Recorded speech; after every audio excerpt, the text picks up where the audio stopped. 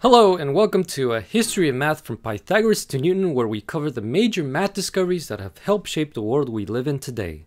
In this lesson we cover the Cartesian coordinate system. Around the 1600s, Rene Descartes published his work introducing analytical geometry. This allowed geometry and algebra to be combined together on a plane called the Cartesian plane. Points are represented as coordinates xy and the distance can be calculated using the distance formula. The distance formula is derived directly from the Pythagorean theorem. Descartes set about expressing shapes such as the circle, parabola, and the ellipse using the xy coordinates. Each of these equations is derived directly from the distance formula.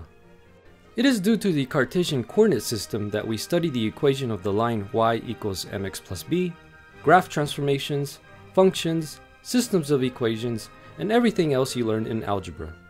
What Descartes basically did is express 2D space in terms of coordinates.